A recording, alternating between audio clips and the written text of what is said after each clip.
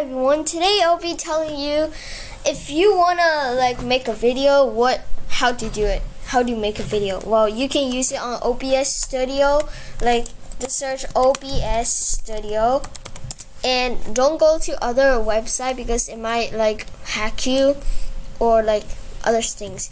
So I think it's best to the best um, recording is this OBS Studio, and it's for Windows, Macs, and Linux. Thank you, and please subscribe to my channel.